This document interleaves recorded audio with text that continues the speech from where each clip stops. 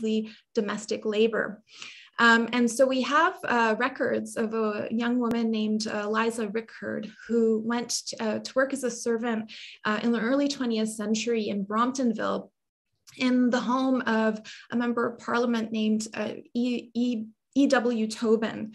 Um, and so we have these little fragments of history that um, sometimes uh, don't give us a sense of um, what the bigger picture looked like, but we we are able to start to get a sense that there were uh, there were people here, there were Black people here in the townships, and they experienced this place and they had uh, certain condition, conditions of living that were very different from their white counterparts. Um, and so we go into a little bit in, in our exhibit uh, about the history of these women of Guadeloupe and uh, the case of Eliza Rickard in Bromptonville. Um, in my um, kind of search for the Black Ar Archive uh, in the Eastern Townships, I initially contacted over uh, at least 20 or 25 archives from around the townships to discover whether uh, they had uh, any material uh, pertaining to, to Black histories in this region.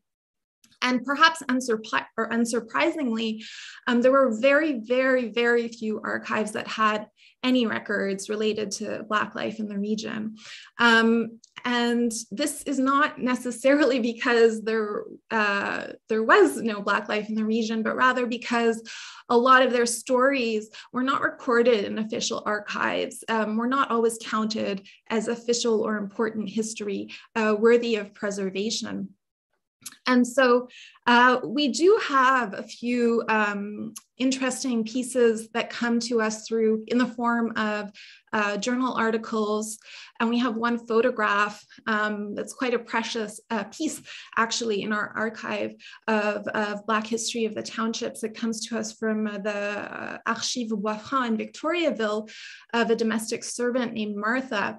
Um, and the photo uh, would have been taken, it looks like it would have been taken in, in the early, early 20th centuries, perhaps the 1920s.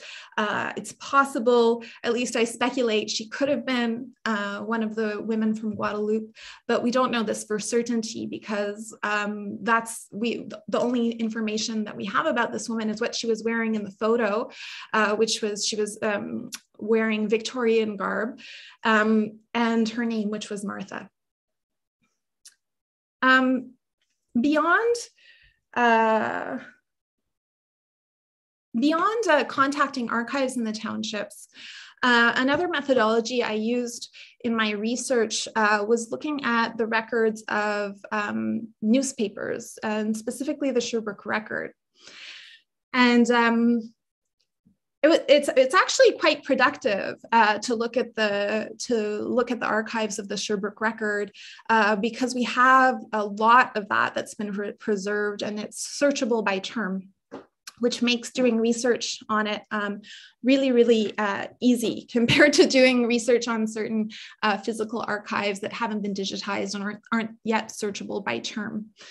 Um, and uh, what I learned, uh, I learned a few things. I think, think there's a lot more research to be done on, um, on the Sherbrooke Record archives. Um, but a few things that I learned about were the really big um, uh, prevalence of blackface minstrel performances in the townships in the early 20th centuries, in, in the early 20th century, sorry, um, at uh, events um, like local carnivals and fancy dress masquerades. Um, and it was also a really popular uh, activity for Boy Scouts uh, in the townships. And for those of you who aren't familiar with what blackface minstrelsy is, um, it's uh, it's a phenomenon. It was a performance form that was wildly popular in the late 19th and early 20th centuries um, across North America.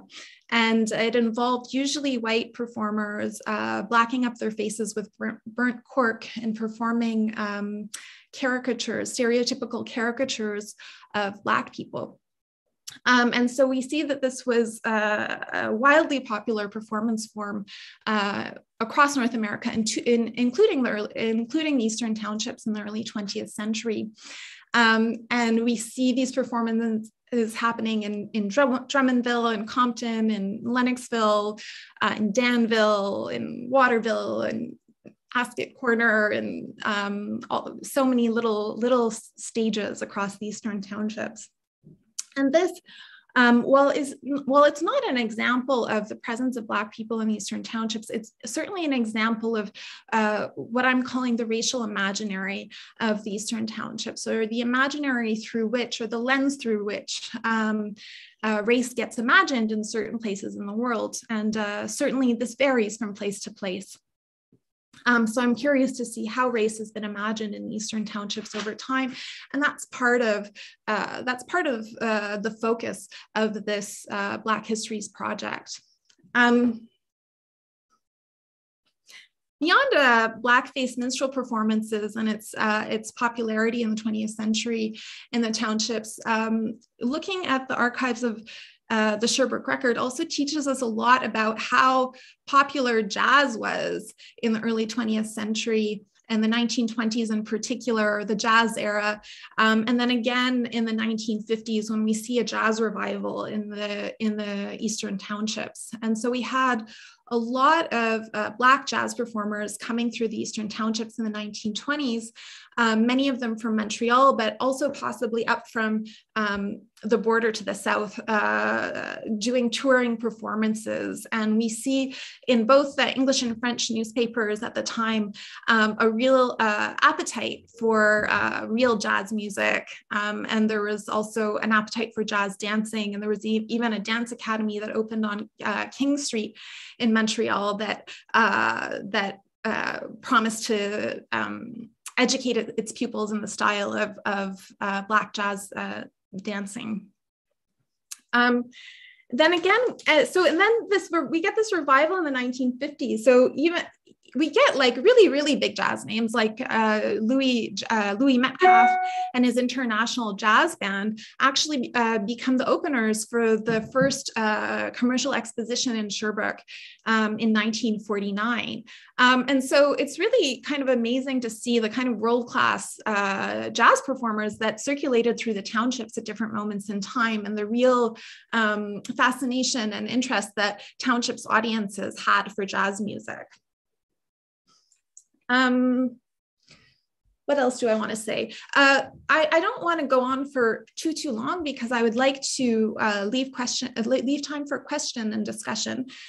But um, I, will note a few other punctual moments uh, in the in the Black history of the Eastern Townships. So one is uh, the presence of Black athletes uh, in the Eastern Townships in the 1950s and 60s in particular. Um, one of the contributors to the exhibit, Andy Holman, who's a professor, a professor, a history professor at Bridgewater State University, uh, has contributed a text about uh, black uh, black uh, hockey players uh, who uh, were playing in Sherbrooke in the 1950s, and he's also done work on the boxers that would come through Sherbrooke in, during this period in time. And so this was um, Holman is writing about about um, athletic spaces and athletic uh, competitions as arenas in which, yes, um, you know, sport was happening and the performance of athletic uh, excellence was happening or athletic virtuosity was happening. But he also writes about these spaces as arenas in which ideas about race were being formulated. Um, and uh, a lot of these uh, male athletes were um, uh, performing their black, blackness or finding themselves having to perform, perform their Blackness in specific ways uh, for townships audiences. So it's a really interesting uh, lens through which Holman is looking at uh, Black athleticism in the Eastern Townships, which I invite you to, to, to, to have a look at in the exhibit. Um, what else would I like to note? Um, another another component okay so there are two more uh, kind of main things that i'd like to focus on um, and then uh, wrap up and open uh, for discussion and uh, regarding this exhibit so one of the things that was important to me with this exhibit was um, to to look at the connections between um, the historical past of Eastern townships and specifically the Black past of the townships and the Black present, uh, present of the townships and the current realities. And so I spent a fair bit of time uh, talking uh, with and meeting with uh, local uh, members of the local Black communities in the region, and uh, specifically artists and activists, Black activists, who have been doing really interesting and vibrant and growing uh, work in the region. I was actually just at an event last night. Um, there was a closing uh, closing event uh, for a, a, Black activist group called Black Estrie. Um, they were uh, just closing their season of programming, a really amazing series of pro programming that they put together for Black History Month. Um, and so uh, it was really amazing to see the kind of community that um, they've been able to uh, build uh, through the work uh, that they've been doing. Um, as Black activists in the region. Um, and their activism is one in which uh, which involves primarily creating spaces for uh, uh, the black uh, black members uh, of the black residents of the eastern townships uh, to gather to um, celebrate things that are relevant to them to discuss things that are relevant to their daily lives um, and to showcase the contributions of local black artists and entrepreneurs entrepreneurs to the region. And um, there is a really, really amazing network of Black artists and entrepreneurs working in the Eastern Townships today. And so it's really uh, encouraging to see that um, there's momentum that's happening in terms of creating a vibrant uh, spaces, both virtual and physical, in which these communities can continue to be generated. Um, and so uh, in the exhibit, we see a turn at the end at the end uh, towards well what does black life look like in the eastern townships today? And what work are, are some members of its communities doing? Um, i th- think one thing that's really remarkable is uh, so many of the people involved in this really really important work. Um, uh, towards building Black community uh, spaces uh, in the townships are also women. Um, and they're doing uh, really, um, yeah, they're, they're women and their, their, their projects are really overlapping, overlapping with important feminist projects as well. Um, okay, so the other uh, aspect of the the uh, exhibit that I wanted to note uh, before we open up to discussion is that um, it, oh, actually, sorry, I realized there are two more. So the first is I wanted, uh, I, want, I wanted the exhibit to be, um, to be a venue that brought together multiple perspectives. So one thing um, I did was I invited uh, five different academics and historians um, specializing on uh, Black Canadian history, Black or Black Quebec history uh, in particular, to contribute text to the exhibit. Um, that are uh, relevant to their work and that connect to the Eastern townships in Quebec. So um, through the texts and perspectives of these academics, uh, we're given, um, we're given uh, vistas onto uh, different uh, elements of Black history in Canada and Quebec. So we have uh, Charmaine Nelson, who's writing about uh, the history of slavery in Quebec and specifically the history history of runaway slaves or freedom seekers, as they're more appropriately called. Um, we have Dorothy Williams, who's uh, one of the pioneers of uh, writing about uh, Quebec history, uh, Black Quebec history, uh, sharing a retrospective of her uh, of her life doing this this kind of research and the challenges that have come up with her for her along the way. Um, we have Dr. Sean Mills, who is a historian at the University of Toronto, who um, is writing about changes in immigration policies um, and the changes uh, in um, uh, race-based immigration policies over the course of the 20th century that affected uh, the presence of Black people in Eastern townships directly. Um, and those are just a few of the, the academic and historical perspectives that are offered uh, to us by leading experts in different fields related to uh, Black Quebec and, and Canadian history. Finally, I also wanted to, uh, I wanted to, there to be an artistic component to the exhibit. So we commissioned the work of two um, artists who just uh, completed a residency um, in Frelighsburg, uh, where they were uh, they were creating artistic responses to uh, Black oral histories in that region. So they spent a good part of last summer there doing this work. Their names are Anna Jane McIntyre and Emmanuel, Emmanuel Jacques. Um, Emmanuel ended up producing a piece of art that is really I find very moving and inspiring. Um, she's a print artist uh, by trade. And uh, what she did was she, uh, after doing research on the Black history of, of, of Frelighsburg, um, she gathered together uh, some of the names uh, of Black uh, of Black people that lived in the region. Uh, some of them included in the ledger that Heather Darch also writes about that I showed an image of earlier.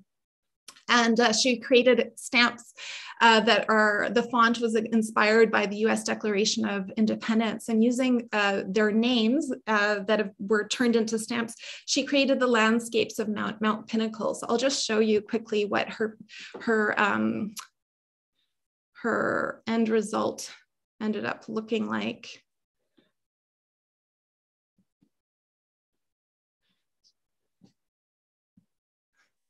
So here we get uh, uh, Emmanuel Jacques' piece, which she calls um, Freedom Pickers. Um, and then Emmanuel, and then Anna Jane McIntyre um, ended up uh, creating a crossroads sculpture um, that is mixed media and um, that is uh, a response. I, I, could actually, I'll just uh, maybe I'll end my my part of this talk with a description of her of her piece. Uh, the description that she wrote. So have I stopped sharing? Oh no, I haven't stopped sharing yet. Okay, sorry. Um, sorry, just one moment. Okay, so um, Anna Jane McIntyre's uh, mixed media sculpture, which she has titled uh, Tresse, Mesh, Mèche de Cheveux, um, uh, uses and here sorry i'm going to be describing the uh, the list that uh, mcintyre gives of the media that she used to create this piece. She writes a cedar fence post antique nails cement hardware paint toy box blood sweat tears mixed emotions ghost patina stories rumors fragments of history time McIntyre's mixed media crossroads sculpture, measuring seven feet tall and topped with a pole star set on wheels, conjures a nomadic cedar, cedar tree, a tree considered a talisman of strength and resilience, particularly in turbulent times. Branches like choose your own adventure signpost point towards different paths to take. Tresse, Mèche de Cheveux, asks viewers to listen very carefully its branches feature a small wind chime made of three antique, antique nails, similar to those gifted to her um, by Monique Dion, owner and caretaker of the United Church of Philipsburg. The vitally important Eastern Township's Lake, Lake Champlain station stop on the Underground Rail, Railroad. Tresse, Mèche de Cheveux, is the artist's response to the call, Where do we go from here, chaos or community, posed by African American social justice campaigner Martin Luther King Jr. in his 1967 publication of the same name. So uh, uh, that's that's the um, end of my presentation of the exhibit. What I'd like to just say about uh, moving forward is that this is far, very, very, very far from being a complete, uh, comprehensive, or total uh, account of Black histories in the townships that we've been able to uh, put together.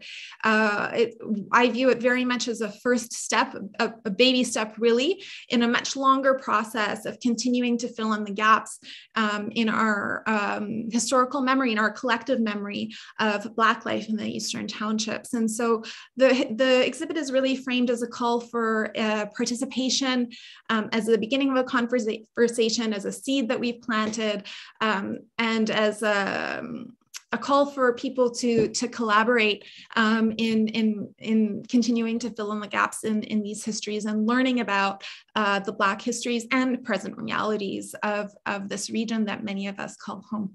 So thank you very much.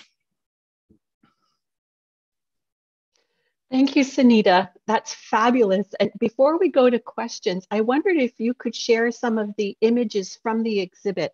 I, I you, I've seen the exhibit, uh, and some of them are gorgeous, like the the woman Eliza Rickard from Guadeloupe, for example, and and it would just allow people to have a visual of what the exhibit actually looks like. And then uh, then we'll go to Glenn, and he'll just explain a few things about asking questions. Sure. So can you can you see my screen okay, Heather? Uh, everyone? Yeah. Yes, okay. yes, no problem. As I, I think, um, so Oh. I think it's uh, bigger if you press play. It's um, we can see it, but I think it could just be a little bit bigger. See that play button on the top? Yeah, I don't because it's currently blocked by my by the uh, by Zoom. Okay. So you have a suggestion around that? I can't see. No, don't. It, it's fine. It's fine. I just I, I oh, previously. Yeah, you got it. okay. Just that much bigger. Thank you, Sunita. Um, okay, so we have the ledger that I discussed earlier. Here's an image uh, that I was referencing earlier of Martha. This comes from the Archives Bois in Victoriaville. And uh, as you can see, this is the Victorian clothing that I mentioned her wearing. Um, it's similar to the work, this photograph is similar to the work of a, a kind of famous early 20th century photographer named Notman. Uh, it doesn't seem to be a Notman photograph, um, but it was also kind of a standard, from what I understand, I'm not a I'm not a visual historian. I, I, don't really know very much about photography, but from what I've been able to understand, um, this is a pretty common um, style of taking uh, professional photography at the time. And there were a lot of photographers uh, based in Montreal who would circulate around the regions. Um, taking photographs of bourgeois families. And in this case, it would seem that one of the bourgeois families in the Victoriaville area, we think, um, at least that's where the archive has been preserved, uh, or this part of the this archival uh, piece has been preserved. Um, it looks like they're they're uh, they had a, a, photograph of, of their family's uh, servant that that was taken here. Uh, we all we know right as of now is that her name was Martha, but I, I really, really love to figure out how to learn more about her. Um, this is a, a, an image from the Record Museum of a early blackface uh, minstrel performance here we have um, My- Myron Sutton's international jazz band that uh, toured around uh, toured around Quebec. Um, here we have the first uh, all black uh, hockey line that uh, played in Sherbrooke in the 1950s with uh, Herb Carnegie, Ossie Carnegie, who were brothers, and Manny McIntyre. Um, and here we have uh, the people, the women of one uh, contemporary Black activist organization um, called Chair Noire that was founded just this last uh, year um, and that has really taken off um, uh, in, the, in the past several months, actually. They've had quite a, a few um, online activities, especially for Black History Month. And these, uh, these women are uh, on the left, uh, Angélique Gauguin-Couture, and on the right, uh, Aïssé Touré, who are the co-founders of uh, the platform Instagram and Facebook. It started as an Instagram and Facebook a platform called Black Estrie which is a, started as, as a virtual space for members of the Black community in the townships, uh, but now um, has all kinds of physical spaces uh, that it has generated. They're both uh, nurses by trade, so this is something that they do on their spare time. They're incredibly hard workers, and they have done so. It's really amazing to see all of they, that they've been able to do um, in the short, the, the, this was founded uh, only a little uh, more than a year ago, Black Estrie, and, and already the following that they've been able to, to gain uh, and what they've been able to do is really, truly inspiring. Um, so yeah, that's, that's it for the images for now. I'm just gonna stop my share. No, that's great. And maybe Glenn, you could just uh, remind people how they can ask Sunita questions. Sure. Um, Yes, everyone, if you'd like to ask a question, um, the best way is to use the chat box. You can just say, I have a question, and then we'll queue you up and I'll unmute you and you can turn on your video. Um, or you can ask your question in the chat and uh, Heather or myself can deliver it on your behalf. Um, if you know where the raise hand button is in Zoom, you can use that too. That always works. And if you're on Facebook watching, I will do my best to check in over there to see if there are any questions and I'll deliver them on your behalf. Um, so uh, I, guess I, I have a, a question, Sunita. Um, you were talking about the, the sort of dearth of print materials, um, what we normally consider archives, um, or archival materials relating to the Black history of the Eastern Townships. I'm wondering if um, if it's possible to make any comment about the sort of living oral history um, in the region, and, and if that extends back and includes um, part of the Black Archive existing in this sort of oral form. Yeah, absolutely. I think um, I uh, I have a maybe very unconventional understanding of the archive of the archive. I even use it as you know this kind of abstract idea. Um, I don't think about archives as just you know physical spaces that collect printed documents that you can go and visit. Um, I think of archives as um, all of the ways in which history gets transmitted down uh, to us. And so or gets preserved and transmitted um, and that includes through the stories that we tell. So this includes oral histories. It includes uh, physical spaces that are built or created sculptures that get, are get created uh, places of uh, commemoration. Um, uh, recipes that get, down, get, get passed down from generation to generation, um, tr- uh, rituals, uh, traditions, customs, uh, ways of dressing, ways of speaking, um, all of these ways in which that are uh, that are embodied, uh, right, that get passed down and that record histories, right. Um, and so I really don't think of the archive as just first of all, what is textual written down? I don't think that's a capacious enough way to think about how history actually gets passed down.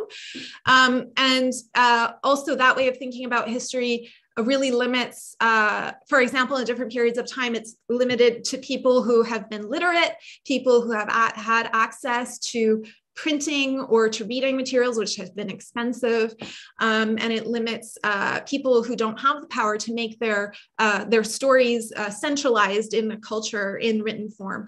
Um, so the oral component is really important. Um, now we're in an era where we have a lot of technologies uh, that are widely disseminated and used for recording uh, oral histories. Um, and I think there's an opportunity uh, to record oral, oral histories uh, of Black life in the townships today, but I don't know who's, I'm having a lot of questions in the moment about whose role it is to do that. Uh, I know a lot of Black activists in the townships are already doing that on their own and in their own way. Um, and so I, I, have a lot of questions about, you know, the, the kind of the ethics, I guess, around recording those oral histories and what to do with them. So, um, but certainly I think that the stories that are being told currently and that will continue to get told uh, to posterity uh, about Black uh, uh realities and co- contribution, uh, and contributions in the townships are a very, very important part of uh, what we might call the Black archive of the region. Thank you. Heather, uh, would you have a question? And I also see Vicky has her hand up. No, it's, uh, I, I was almost going to ask almost the same thing, actually, Glenn, because, uh, well, you know, Sunita, I've studied the, the Black community at Missisquoi Bay, and uh, that you've brought in a, uh, some oral history. And so I was wondering, is the oral history from a Black community that's maybe moved to Montreal, or is it oral history from the community of St. Armand, Philipsburg, some of the stories I've never heard of. For example, the story of ringing the church bell if there was a, a stranger in town uh, at, in order to protect the Black community that was there. And I thought that was an unusual story because Philipsburg was actually a port. So there'd be strangers in town all the time. You know, goods went from La, went to La Prairie to Montreal, and then down the Pike River was a huge lumber industry uh, and uh, down to the Hudson River. So I thought that was a story. I've never heard of it, which doesn't mean it didn't happen, but it just uh, was like, oh, that's very interesting. So I wondered where the oral history comes from in in uh, in the in the exhibit in your research. Yeah, thank thanks for that question. Um, I Heather, I love the idea of like when you mentioned, you know, there were strangers coming through Philipsburg all the time, like were the bells just constantly ringing? like what was what did Philipsburg sound like at that moment? Exactly. Yeah. um okay, I'm gonna have to get back to you on where exactly I, I heard I because it's come up more than once. I have to go and pin down where I first started hearing about the oral histories. And I also think that my reference also comes from some printed material at this point that the printed histories are referencing the oral histories. So i'm going to go look through my materials and get back to you about where this where this um this lore comes from. And you know the other you raise another important question is like not like oral histories are interesting because they often tell us more about how something is being remembered uh, than what actually happened in the first place, right? And we know that we know that there's, um, you know, like the telephone game, right? Like every time you repeat it, it can change a little bit, and that's part of how oral histories operate as living, breathing, dynamic, changing, transforming thing phenomena, right? And so I think that we get into interesting questions about historic, historical authenticity and accuracy when we're dealing with oral histories. And so, but that does, that's not to say that I think uh, oral histories are not um, should be dismissed as historical material because whether or not they give us information about you know the facticity of something having having happened they do give us information about um, how at any given moment in time a certain community is telling its own stories about itself right? And that in itself i find really interesting and valuable. Yeah that's that's an interesting point. Uh, i know the community has grappled with this history uh, for quite a while uh, whether if there were actually enslaved people or not. I tend to um, i lean on the side and you know this of that the community was not actually, uh, if they were slaves, it wasn't for very long. And um, because, uh, well, in 18, 1800, the Reverend Caleb Cotton wrote that he, he had just come out of Savannah. So he was hoping, of course, there were people who would build a house for him. Uh, and he wrote that there was few Black people in, in Philipsburg, and those that were were free. So that's an interesting um, observation from someone who was very literate and very he was very focused on his um, on what his life was at the time and complained about everything like what kind of tea he couldn't have and, and so he very very specific. So so but but over time there's been this this sort of um, like an like an oral history that's come out of Philipsburg and and uh, but I, I, wasn't sure if it was from the community uh, over time or if it was from a Black history, uh, you know, if, because we assume the Black community moved on to Montreal where there was a bigger community. But it's an interesting point you raise up about how a community tells stories over time. Uh, not necessarily, and they're not necessarily correct, but they reflect uh, how people see themselves or saw themselves. So that's an interesting point to bring up. Thanks for that. Mm-hmm.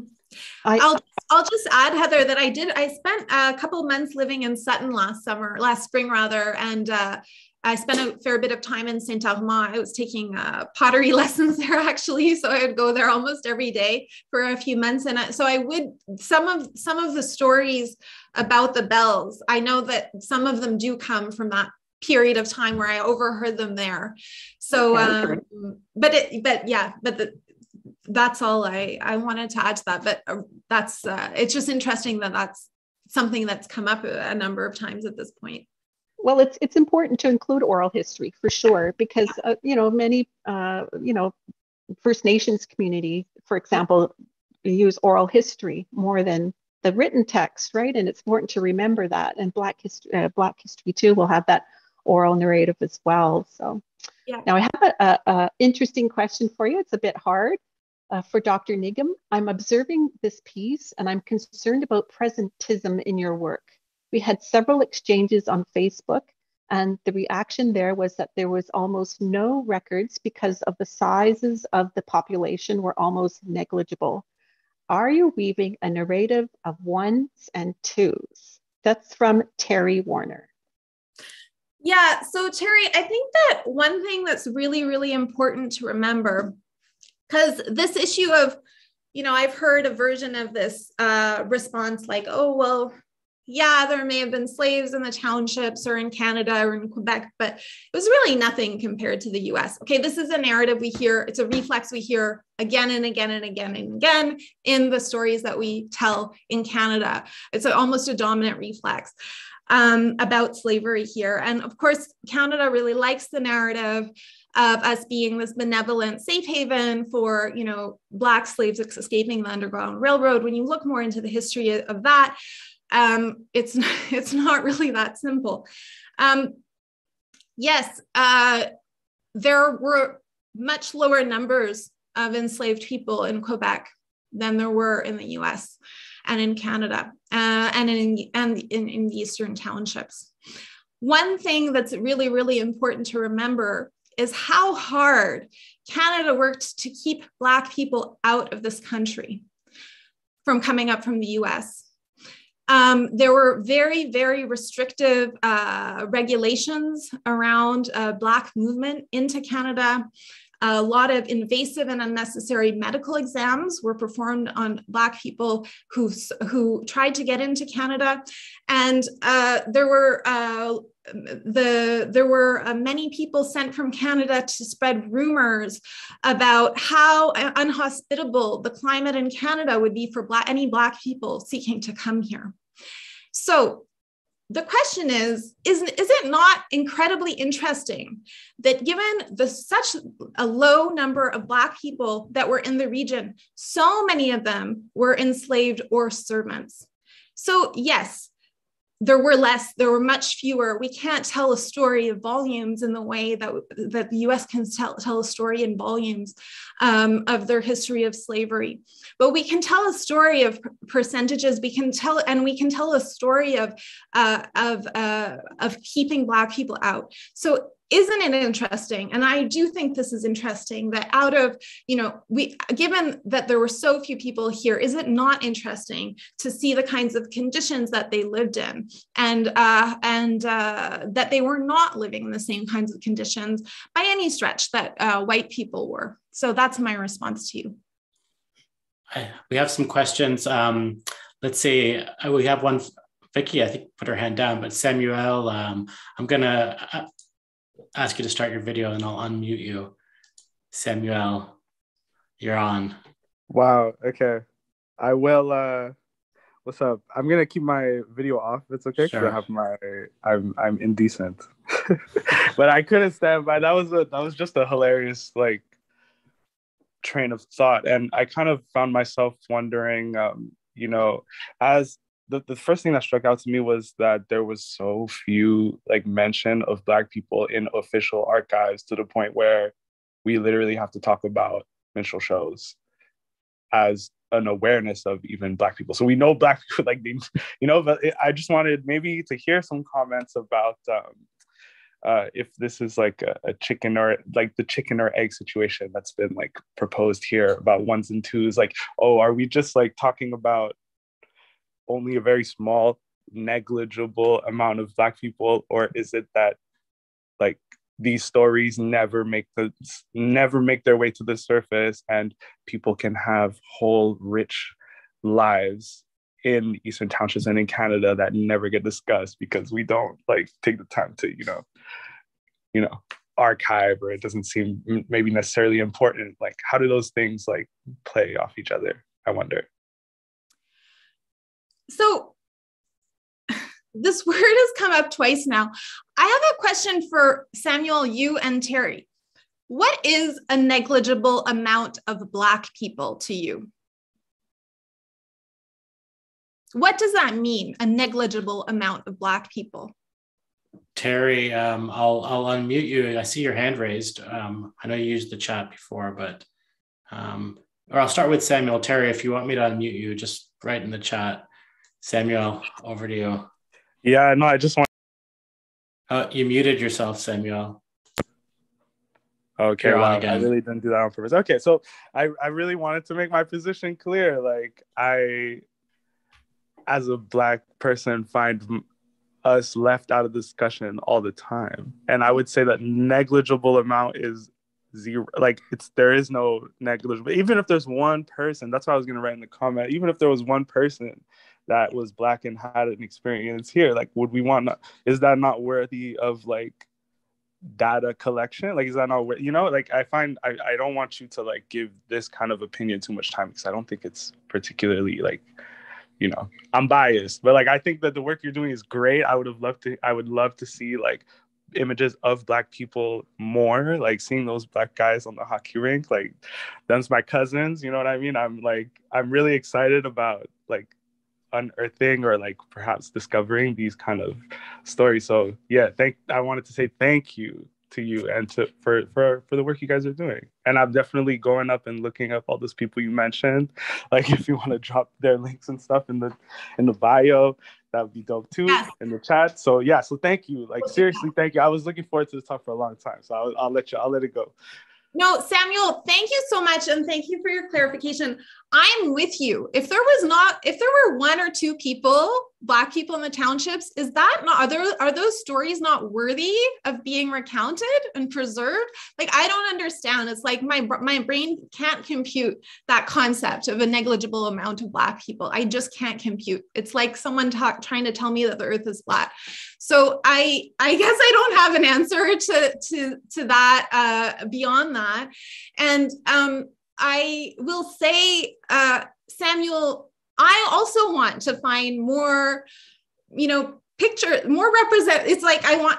I think a lot of the my personal motivation was like I wanted to find more representation of Black people in the Eastern Townships, and I didn't find a lot of what I felt might have been really fascinating and interesting and inspiring to uncover. But um, I think what we don't know and what we don't find where it hasn't gone recorded can also be interesting and and then it asks questions about well where do we go from here right um, because we're not done we're living we're living history right now and we have a future to look towards as well so i'm and in, in uh, regarding uh, terry's question also about presentism which i didn't answer um, yes, I'm I'm kind of unapologetically interested in history um, as a portal into the present. I'm not a historian by trade, and I'm only interested in history in terms of what it can teach us about the present moment. And that's my bias that I uh, have and that I am proud to have. um, and I know a lot of historians won't won't like me for that, and they have their own um, they have their own relationship to history. I'm interested in history for what it can teach us about the present and how it can help us move towards towards uh, a more inclusive and democratic futures. And that is. Uh, what interests me about uh, Black histories in this region. So, yeah. All right. Well, um, I promised uh, Terry I would unmute him. So Terry, I'm just going to uh, let me see if I can figure this out. Hold on a second. Wait for it. there we go. Terry, you're on. Thank you, uh, and Dr. Nigam. Um, I, I, giggled a little bit because the world is not is not flat. The world is very round. I'm a historian, and I'm a geographer, and uh, a son of the townships.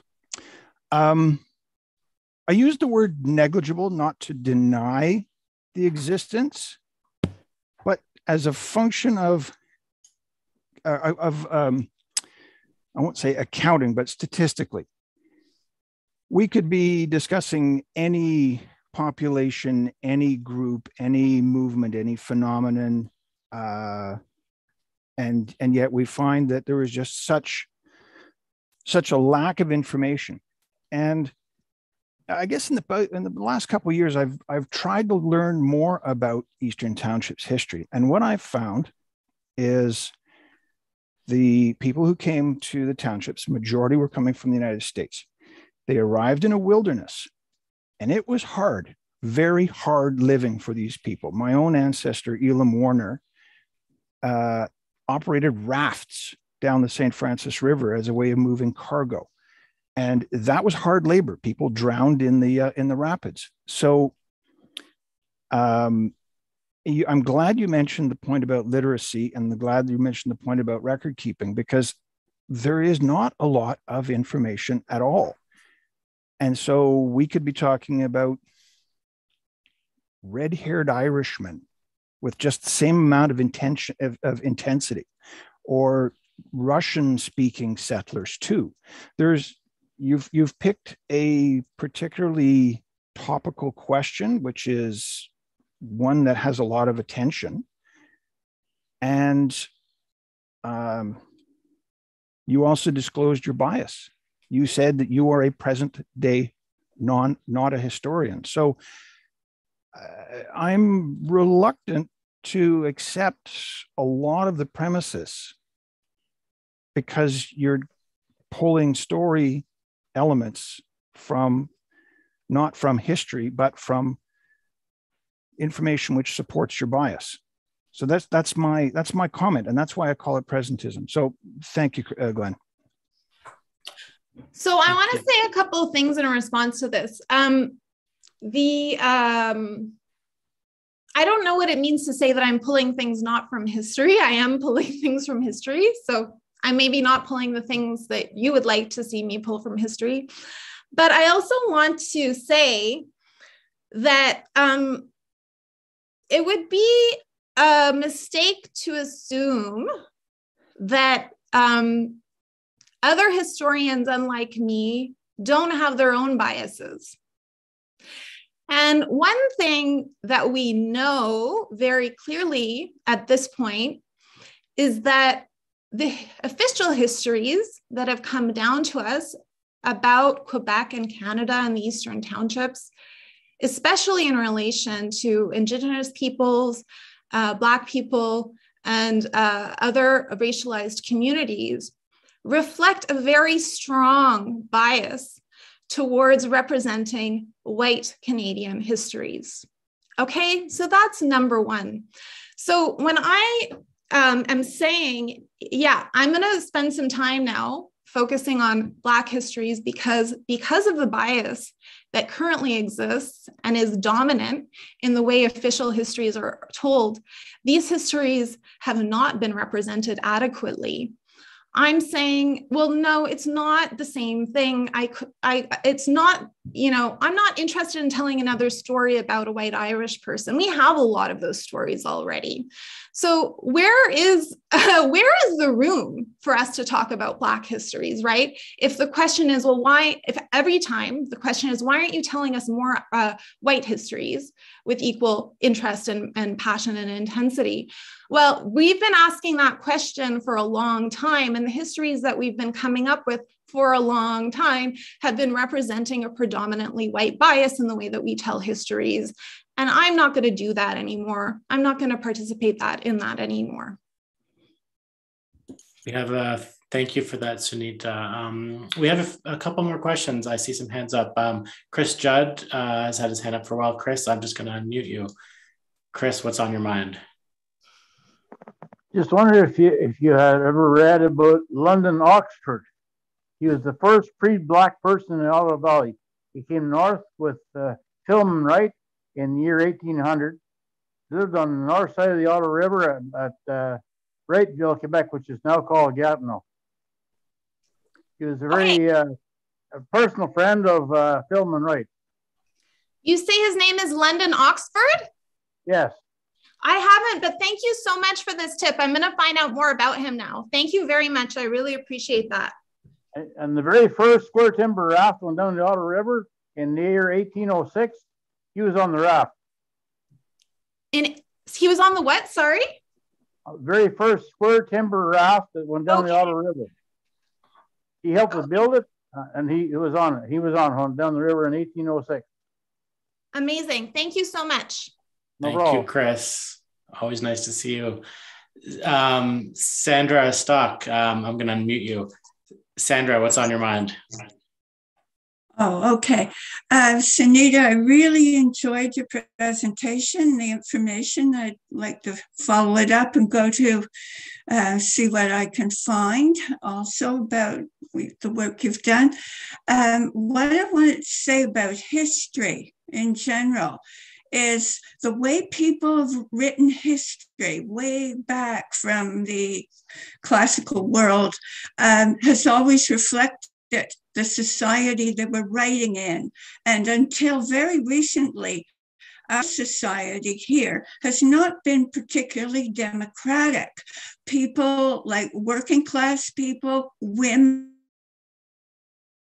minority groups, indigenous people, and so on, were um, often not necessarily demonized, but they were excluded in the way they were excluded from society's uh, power bases in general. Um, there has been a slow, gradual change to that.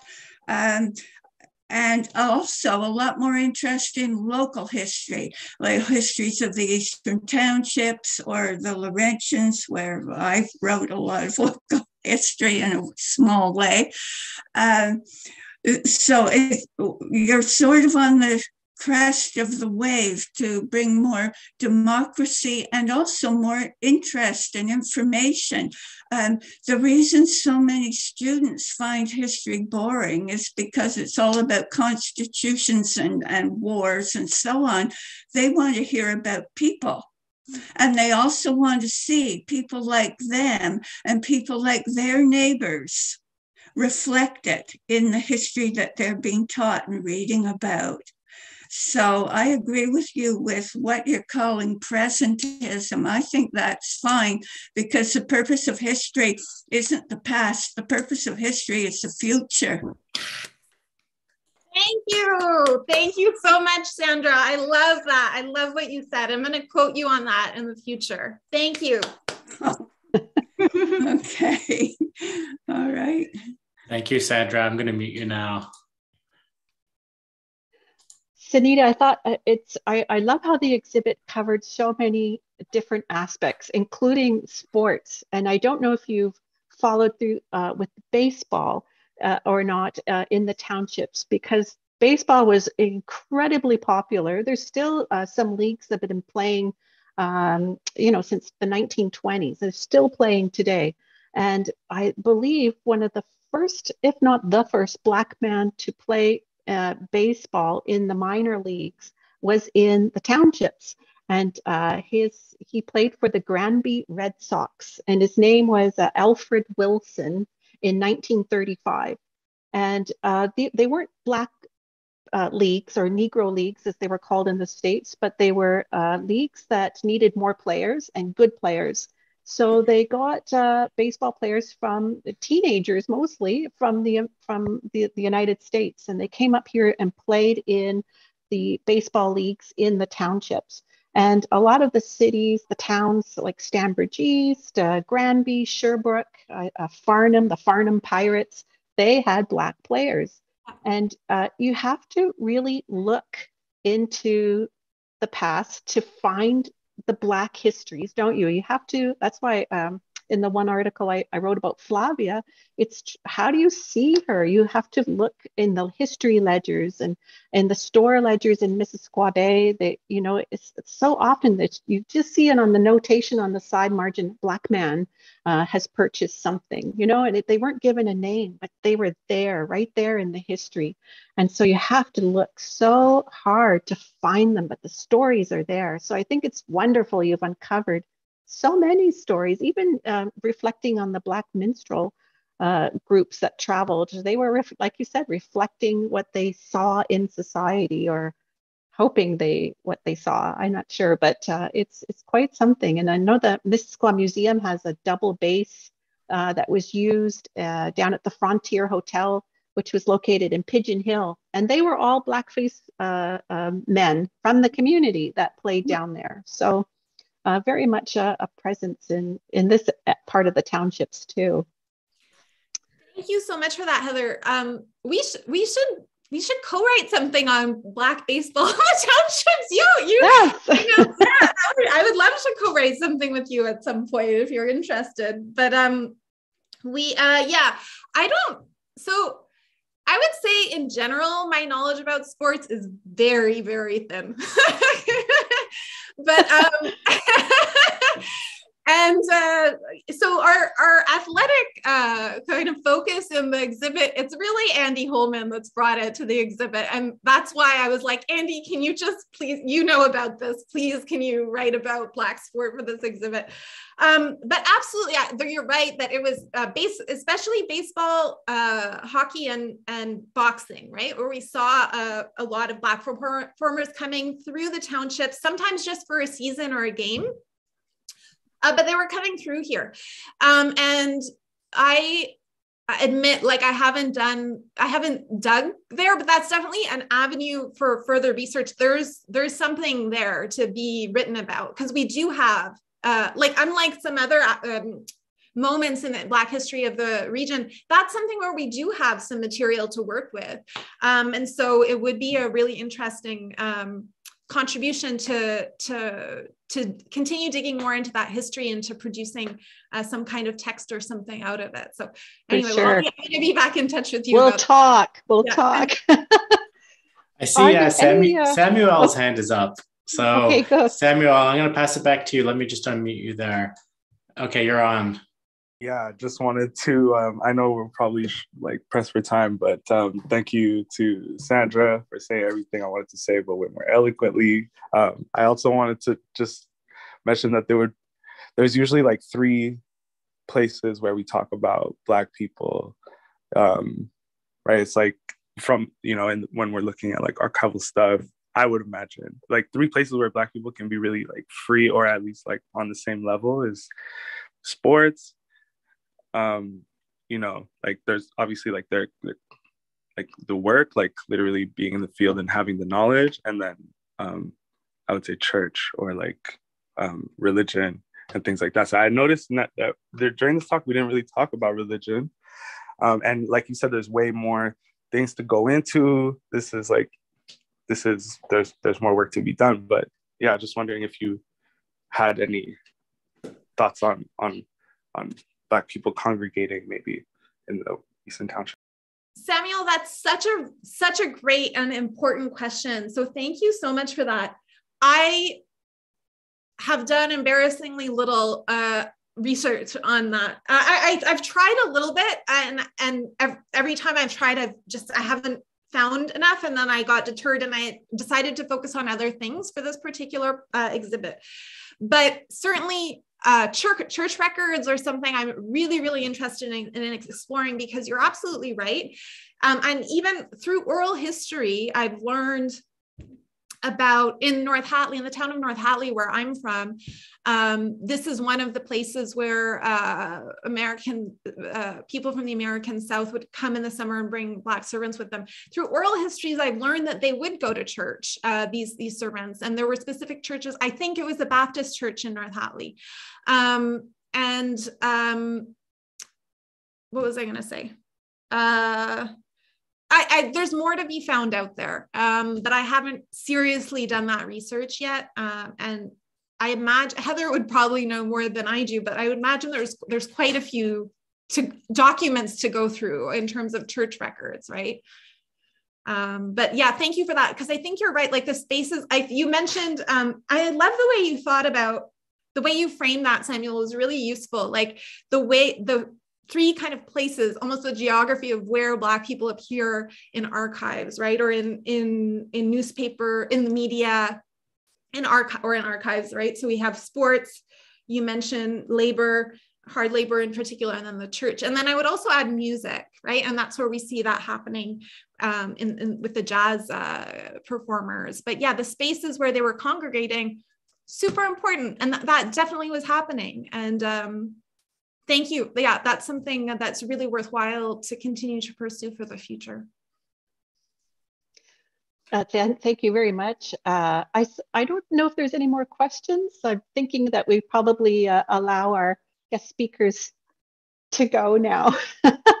it's been a marvelous time. Uh, and thank you so much, Sunita. You've, you've uh, I think you know you've only just started to scratch the surface we all really have there's there's a lot of history out there the black community was here and it's finding them and where they were and that was that's quite brilliant samuel to bring that up because uh, were there churches uh, were they involved in white churches? I'm not sure, you know, and where were they in sports and where uh, where were the women? And, you know, we're just all these questions we're just starting to ask. And so it's really quite marvelous that uh, that you've started to, to bring this to us and it, a, a, great project from the Eastern Townships Resource Center. And I'm sure Fabian has been uh, uh, is, quite delighted that uh, you have been involved in, in opening up the archives uh, and asking for people to please donate, I'm sure, to the ETRC any information that they do have and growing archives uh, of this sort, you know, and uh, whether it's oral histories or it's music or what have you. And